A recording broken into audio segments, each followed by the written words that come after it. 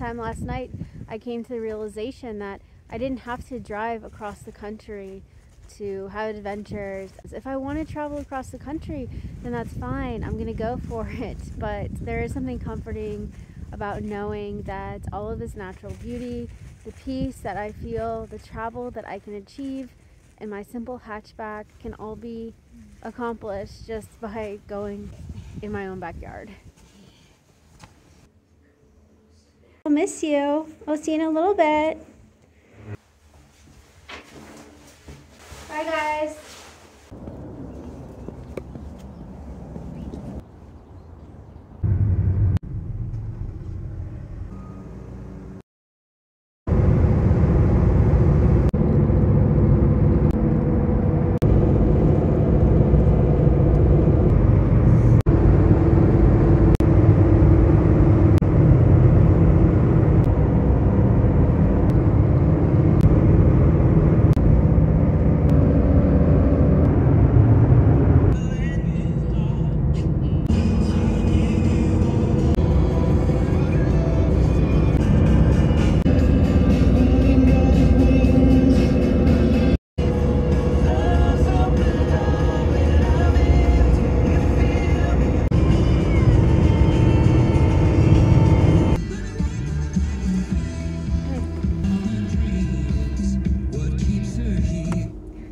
Everybody, welcome back.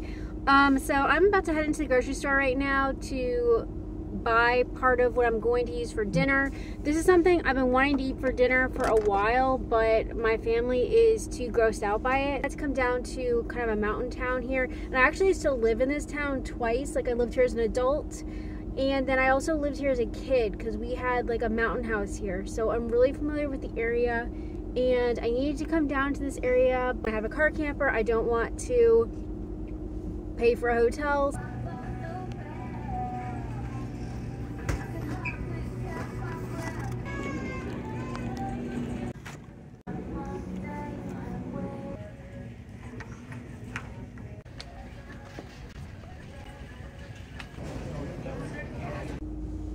I wanted to say that if you are new here, my name is Claire and this channel is about car camping and what I'm really interested in is like is being like self trying to be like self-sufficient and trying to see how long I can stay off grid in my car. So while I do have a car, I'm just sort of interested in the whole kind of dynamic of sustainability and trying to live in different alternative type life things. I'm interested in biking, I'm interested in van life, I'm interested in RVing, I'm interested in car camping, SUV camping, I'm interested in just tent camping. I'm just sort of like the whole gambit. I happen to have a car and that's why I do car camping. I think car camping is great, but there are a lot of encompassing themes that go into this, and this is why I do this. There have been times in my life that I have been in between jobs and it's been very stressful. And so I try and create sort of a perfect, well, trying to make it as perfect as possible, kind of cabin on wheels as far as my car is concerned, just to have just sort of like a plan B if something goes wrong. So, yes. So now we need to scurry up into the mountains because I want to get up there before it gets dark. I ask your forgiveness in advance. Um, my car is still a little bit dirty from the desert. I didn't quite have time to take it into the car wash.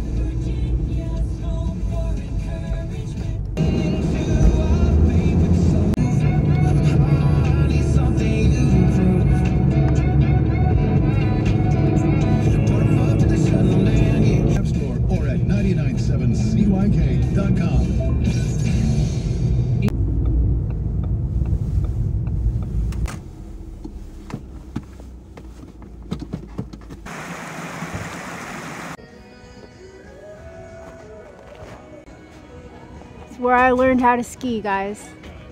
It's a bunny slope, diamond run, paradise, Geronimo. I'm just so surprised that the slopes are closed. I was expecting skiers, so I don't know um, if it's gonna help or um, hurt with my cause tonight. Alright guys, so without saying too much, I do want to say that my little plan here is not going as planned at all. Without telling you guys too much about what my plan was, I will say that the cafeteria is closed and what I was going to um, lean on that infrastructure here for dinner is not going to work out. And basically, I'm in a little bit of a conundrum right now with food in my car because I'm not cooking with open flame in the vehicle. And since we're doing stealth camping tonight, I can't get outside of the car. Power station, everyone, it is on my list. It is high on my list, and then I can do more electric cooking. All right, guys, I have some good news. Um, the campfire grill is open. All right, let's go get our food. And I asked her about like making the adaptation, like what grosses my family out. And she um, wasn't very compliant about it. So we're just gonna have to, um, we're gonna have to lean on that infrastructure and our own infrastructure to manifest what I've been wanting to eat for a long time.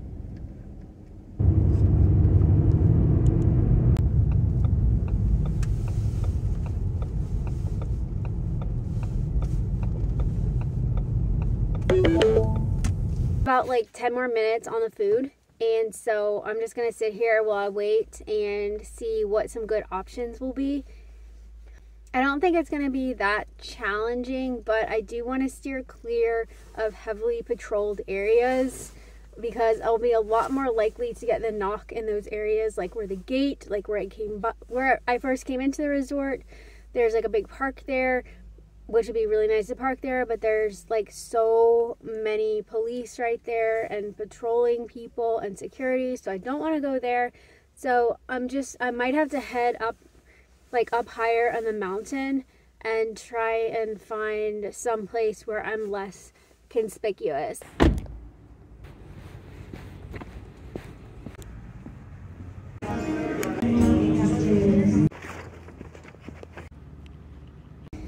We have our mystery dinner here.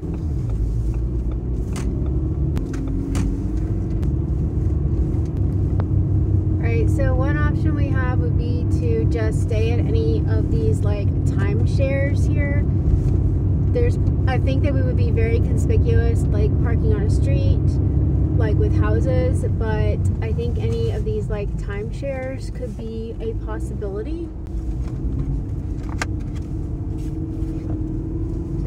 Just gonna be like, they look like timeshare or just kind of like little condo looking things. I'm not really crazy about the parking because it's more you have to park like right next to the dwellings and I would be looking for something that would be further away.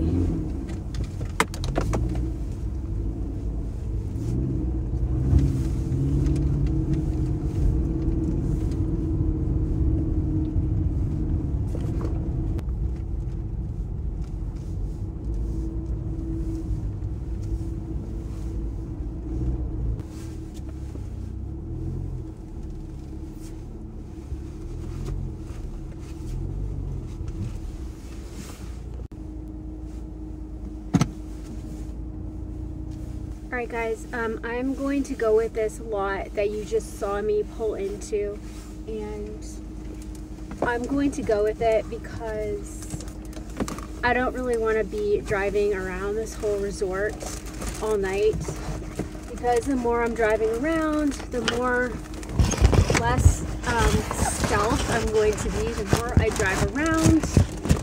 And another thing I like about this spot is just the reality that I have a dog. And as much as I love to be in the vehicle, like when I get somewhere, I love to be in the vehicle and not get out of the car once I get somewhere. Who's getting cold? And while I love that idea, it's just not always reality when you have a dog because I do have to take my dog out before bed. So this is much more preferable because I can kind of slink out.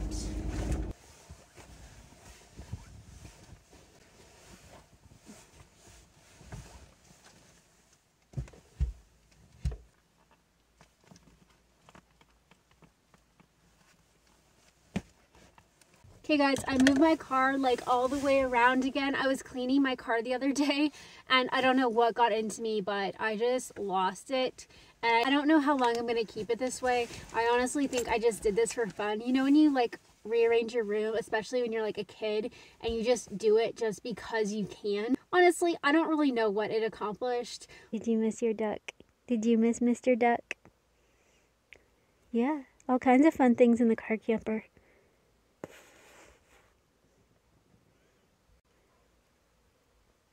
We're gonna eat your duck for dinner.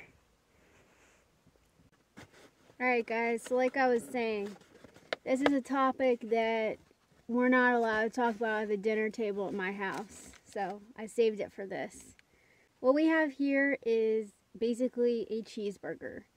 But I want to do something different to it. Are you familiar with the recipe of having a peanut butter a peanut butter and jelly cheeseburger? Have you heard of it? So I've been seeing a lot of YouTube videos and a lot of hype about this and some people that I fairly respect and trust, they seem to really like it. So I think I'm going to put this on like half of the burger. Here's our regular burger and now we're going to turn it into a viral peanut butter and jelly burger.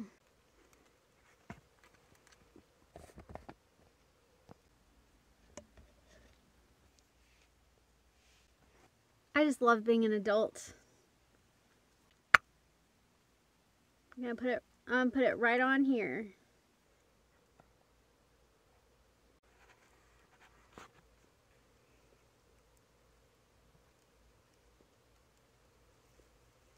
Okay everyone, so here we go. This is the peanut butter and jelly cheeseburger.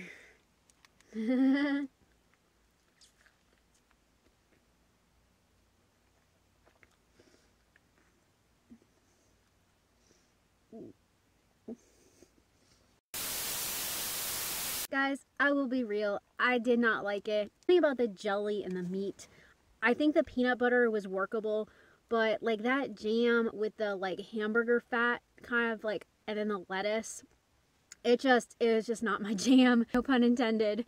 Um, but I can't do it. So I think I'm glad I did half. I don't mean to waste food, but at the same time, I really did want to try it. And I don't want to just go through life not trying things and always wondering about it. I have a couple questions for you guys. Um, number one, not like it's obviously optional to answer these questions, but I would really love to have a discussion. Question number one Have you guys tried this burger? And do you think that it looks good? I mean, I just, I can't, I can't, I can eat most things except for like weird, kind of like weird meats and I can't do blue cheese and I can't do any kind of like pate or like duck liver or anything weird like to me that's weird. I can't do that, but I'm a pretty flexible eater, but this it was like no way. And the other question I have for you all is those of you who've been watching me or if this is your first time tuning in to my channel, do you think that this would be like workable like having a car to camp out of? I'd just be really kind of curious to know what you all would think about plugging in a car like this for a hotel for a couple days. That was a yummy topper on your dinner, wasn't it?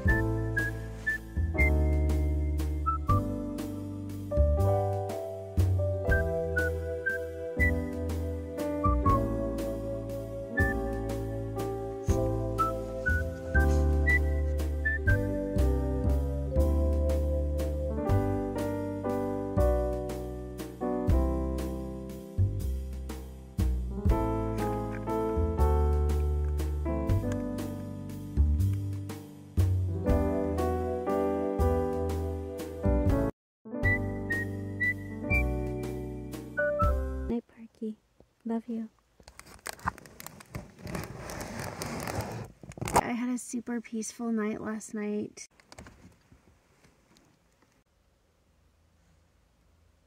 Morning, precious.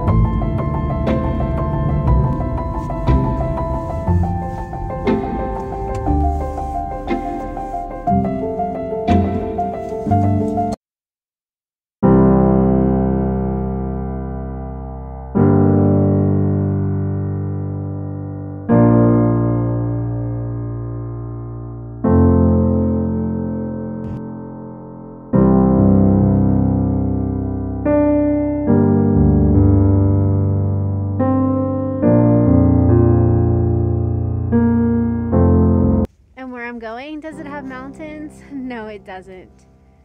But I'm confident that I will achieve what I am meant to achieve, even in my own backyard, wherever I end up.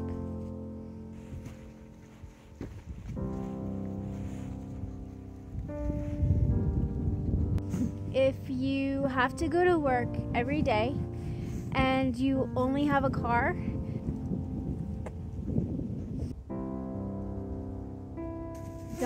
count the adventures out. Not yet.